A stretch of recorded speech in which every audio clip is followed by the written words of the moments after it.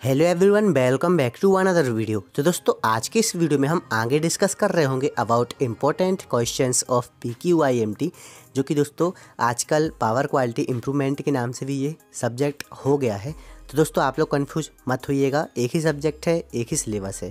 तो दोस्तों, आज की इस वीडियो में जो भी टॉपिक्स क्वेश्चन शेयर करें, उनमें से एक भी को भी स्किप नहीं करना, क्योंकि ऑल टॉपिक्स जो शेयर करने वाले हैं एग्जामिनेशन के पॉइंट ऑफ़ व्यू से सुपर इम्पोर्टेंट होने वाले हैं। तो चलिए दोस्तों, वीडियो को स्टार्ट करते हैं और यूनिट वाइज आप सभी को P Q I M T के इम्पोर्टेंट क्वेश्चन बताते हैं। तो दोस्तों इंपॉर्टेंट क्वेश्चन शेयर करने से पहले आपको बता दें कि यार यूनिट नंबर फोर्थ से अच्छा खासा पूछा जाता है तो प्रायोरिटी यूनिट नंबर फोर्थ को दें, जिससे कि आपका जो है पासिंग चांस बढ़ जाए और आप लोग अच्छा मार्क्स गेन कर पाओ। तो दोस्तों फ़र्स्ट यूनिट के इंपॉर्टेंट क्वेश्चन आपको दिख रहे होंगे, जिसमें से फ़र्स्ट टॉपिक है पावर क्वालिटी इसको एक्सप्लेन करिए, इसकी नीड्स क्या है इशूज़ क्या है। इसमें एक शॉर्ट नोट में कभी कभी पूछ लेता है पावर क्वालिटी एवेल्यूशन प्रोसीजर जो कि दोस्तों लास्ट ईयर में पूछा नहीं गया था, हो सकता है इस बार आ जाए। डिस्टर्बेंस वगैरह और पावर क्वालिटी में वेरियस आई ट्रिपल स्टैंडर्ड्स क्या होता है? इस टाइप से दोस्तों आपको फ़र्स्ट यूनिट का पावर क्वालिटी का टॉपिक करना है, जो कि दोस्तों पावर क्वालिटी के रिलेटेड आपको एक ना एक टॉपिक देखने को मिलेगा। इसके बाद दोस्तों आपको सामने दिख रहा होगा voltage surge distortion factor fluctuation and flicker दोस्तों, ये भी आपका आर भी कभी कभी डिफाइन में तीन से चार टॉपिक रख देता है, जो कि दोस्तों काफ़ी ज़्यादा इंपॉर्टेंट है। तीन या फिर चार लास्ट ईयर में ही पूछे गए थे। तो दोस्तों, इनको भी आप कर लीजिएगा। तो दोस्तों, यहाँ तक फ़र्स्ट यूनिट के इंपॉर्टेंट क्वेश्चंस कंप्लीट हुए। चलते हैं सेकेंड यूनिट की ओर। तो दोस्तों स्क्रीन पर आपको सेकेंड यूनिट के इंपॉर्टेंट क्वेश्चन दिख रहे होंगे, जिसमें से फ़र्स्ट में आपको डिफाइन जो दिख रहा है, चार टॉपिक्स ये आपको बिल्कुल भी स्क्रिप्ट नहीं करना है सेकेंड यूनिट से। सबसे पहले आपको यही करना है, उसके बाद ही कुछ करें।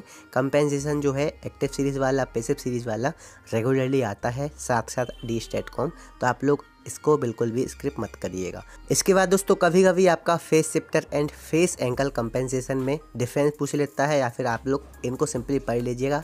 ये क्या होते हैं? इसके बाद वोटा सीरीज़ एंड सेंट कंपेंसेटर ये भी दोस्तों रेगुलरली पूछता रहा है। तो दोस्तों, यहाँ तक सेकेंड यूनिट के ऑल इंपॉर्टेंट क्वेश्चन कंप्लीट हुए, जो कि दोस्तों आपको फ़र्स्ट जो डिफाइन में दिख रहे हैं चार टॉपिक ये तो आपको करना ही करना है।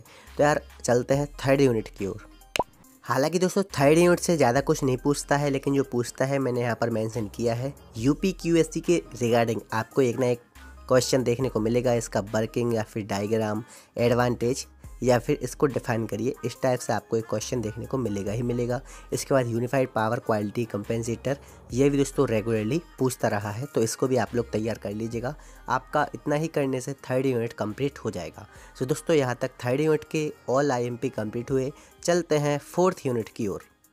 तो दोस्तों, अगर आपको याद हो तो मैंने आपको स्टार्टिंग में बोला था कि यूनिट नंबर फोर्थ से अच्छे खासे क्वेश्चंस आते हैं। आप लोग अपने मार्क्स आराम से गेन कर सकते हैं। सिर्फ़ फोर्थ यूनिट को करके। तो देखिए दोस्तों, मैं आपको सबसे पहले बता दूँ कि यूनिट नंबर फोर्थ से आपका ट्रांजिएंट और हारमोनिक के रिलेटेड क्वेश्चन ज़रूर बनता है, जो कि दोस्तों प्रीवियस ईयर में रेगुलरली हारमोनिक और ट्रांजिएंट के रिलेटेड क्वेश्चन पूछा है, और इस बार भी काफ़ी ज़्यादा चांसेस हैं कि इन दोनों टॉपिक के रिलेटेड आपको क्वेश्चन देखने को मिलेंगे। दोस्तों, फोर्थ यूनिट का सिलेबस काफ़ी बड़ा है, लेकिन यहाँ पर मैंने सिर्फ़ वही टॉपिक्स क्वेश्चंस लिखे हैं जो कि इम्पोर्टेंट हैं। मैंने बिना फालतू का कंटेंट यहाँ पर नहीं लिखा है। इसलिए दोस्तों, आप लोग बिना किसी डाउट के फोर्थ यूनिट के ये ऑल टॉपिक कर लीजिएगा।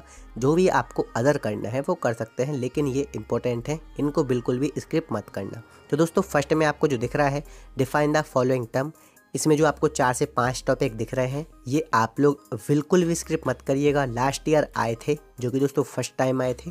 हो सकता है इस बार आपको शॉर्ट नोट में या फिर लॉन्ग नोट में देखने को मिले। तो दोस्तों ये इंटर हारमोनिक्स जो है, हो सकता है इस बार आ जाए, जो कि यार काफ़ी ज़्यादा इंपॉर्टेंट है।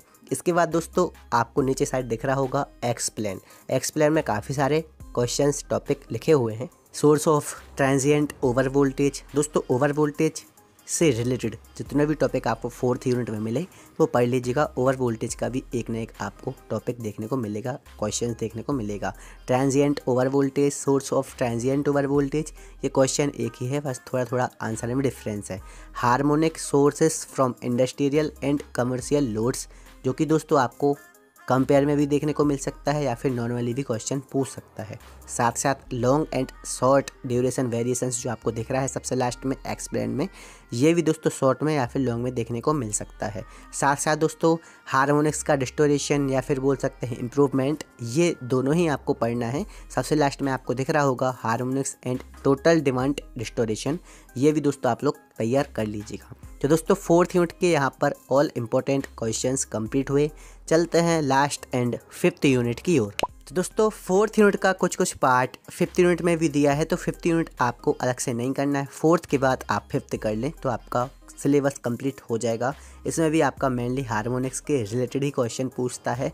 Harmonic analyser effects controlling device harmonic reduction and standards distortions ये भी दोस्तों आपको करना है। हारमोनिक्स के रिलेटेड आपको दो या फिर तीन क्वेश्चन ज़रूर ही देखने को मिलेंगे, वो चाहे शॉर्ट में मिले या फिर लॉन्ग में मिले। इसलिए दोस्तों, आप लोग स्क्रिप्ट करने की गलती बिल्कुल मत करिएगा। इसके बाद डिफाइन में दो टॉपिक दिख रहे हैं। एक्चुअली वो तीन टॉपिक हैं। आप लोग इन तीनों टॉपिक को अच्छे से तैयार करिएगा। शॉर्ट नोट में आपको तीन में से एक टॉपिक देखने को मिलेगा। लास्ट ईयर आपका फास्ट फूरियर ट्रांसफॉर्म पूछा गया था। तो दोस्तों, यहाँ तक के आपके ऑल इम्पोर्टेंट क्वेश्चन तैयार हो चुके हैं। फ़र्स्ट से फिफ्थ यूनिट तक के। तो दोस्तों, आप इन सभी क्वेश्चन को तैयार कर लीजिएगा। तो दोस्तों प्रीवियस में ये जो इम्पोर्टेंट क्वेश्चंस वाला पीडीएफ है, उसका काफ़ी सारे स्टूडेंट डिमांड करते थे कि मुझे पीडीएफ सेंड कर दो। तो दोस्तों, जब मैं इंपॉर्टेंट क्वेश्चंस प्रोवाइड करता हूँ तो दोस्तों, काफ़ी सारे स्टूडेंट इस पीडीएफ की डिमांड करते हैं, जो कि दोस्तों कुछ कुछ स्टूडेंट व्हाट्सएप पर मैसेज करते थे साथ साथ इंस्टा पर भी मैसेज करते थे कि मुझे इंपॉर्टेंट क्वेश्चन का पीडीएफ प्रोवाइड कर दो, जो कि दोस्तों फ्री ऑफ़ कॉस्ट रहता था। तो दोस्तों, इस चीज़ के सॉल्यूशन के लिए अपनी वेबसाइट रेडी हो रही है, जहाँ पर आप सभी को आर के रिलेटेड सारा कुछ कंटेंट देखने को मिल जाएगा important question previous year question paper syllabus time table student login सारा कुछ फैसिलिटी आपको अपनी इस वेबसाइट पर देखने को मिलेगा। तो दोस्तों पीडीएफ के लिए आपको सबसे पहले गूगल पर सर्च करना है R G P V news dot in. पर सबसे पहले अपना वेबसाइट दिखेगा R G P V news dot in के नाम से। लोगो आपको सामने दिख रहा होगा। इस पर जब आप क्लिक करेंगे तो ऐसा इंटरफेस आपको देखने को मिलेगा। Previous year question paper important video lecture वगैरह एग्जामिनेशन फॉर्म वगैरह, सारा कुछ। तो दोस्तों सिंपली आपको इंपॉर्टेंट क्वेश्चन पर क्लिक करना है। यहाँ पर आपको अपना ब्रांच सेलेक्ट करना है इलेक्ट्रिकल इंजीनियरिंग इसके बाद सेमेस्टर सेलेक्ट करना है एट्थ सेमेस्टर दोस्तों, आप लोग एट्थ सेमेस्टर पर क्लिक करेंगे तो आपको यहाँ पर P Q I M T का जो है इंपॉर्टेंट क्वेश्चन वाला पीडीएफ डाउनलोड करने के लिए एक बटन दिख जाएगा। आपको सिंपली डाउनलोड पीडीएफ के ऑप्शन पे क्लिक करना है तो आपका पीडीएफ डाउनलोड हो जाएगा, जो कि दोस्तों आप सभी को सामने दिख रहा होगा। दोस्तों, आप लोग थ्री डॉट पर जाके सिंपली इस पीडीएफ को डाउनलोड कर सकते हैं अपने मोबाइल फ़ोन में या फिर लैपटॉप में। तो दोस्तों, इस पीडीएफ को डाउनलोड कर लें, अच्छे से पढ़ाई करें, आपके एग्जामिनेशन नज़दीक हैं। बाकी दोस्तों, वेबसाइट के रिलेटेड आपको कोई भी इश्यू हो तो आप लोग कमेंट करके ज़रूर बताएँ। तो best of luck for your examination, thank you very much for watching. Take care love you all